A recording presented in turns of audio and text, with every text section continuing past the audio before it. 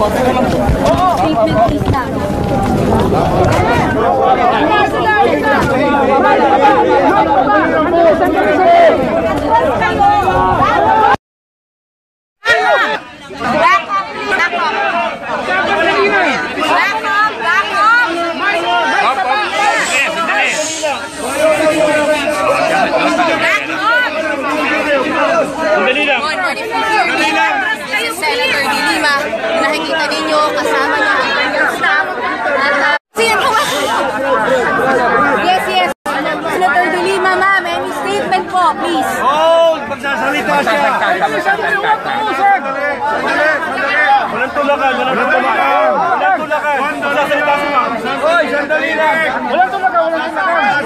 Sandali lang. Magsasalita si ma'am. Tahimik.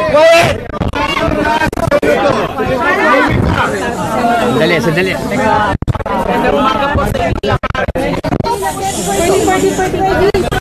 Bababa na po ako dito sa Senado at haharapin ko na po yung team ng CIDG na magsuserve sa akin ng warrant of arrest. So sasama na po ako sa kanila voluntarily. Ah,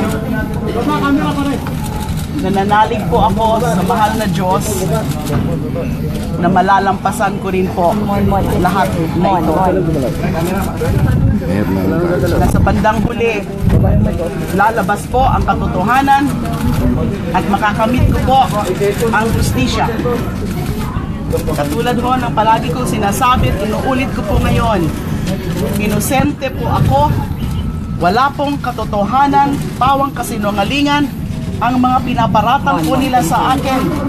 Na ako ay di, um, di umano ay nakinabang sa droga, di umano tumanggap na sa drug money, di umano ay uh, nag-cuddle o nag-protect ng mga drug addicts.